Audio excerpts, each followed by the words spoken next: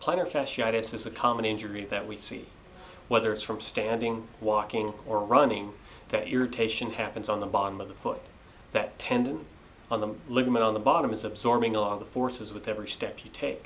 So you think the arch of your foot, every step it's getting stretched a little bit. That ligament on the bottom is taking up a lot of that force.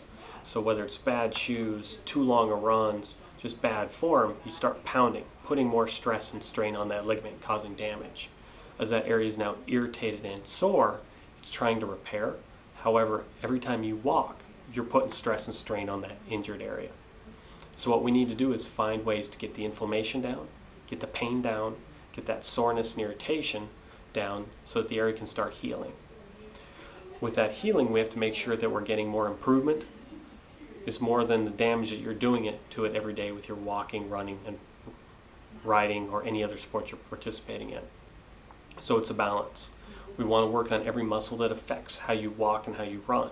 If your hamstrings or calves are too tight, that's going to change your walking gait to put more stress and strain on the bottom of the foot. We're going to use all the traditional physical therapy treatments of electric, ice, heat, stretching, strengthening. We're also going to combine that with the class 4 cold laser to help speed the healing, get the inflammation down even more. Massage therapy through the lower leg and hamstring quad to loosen that area up. We're going to work with a lot of stretching to get greater flexibility in all the lower leg muscles.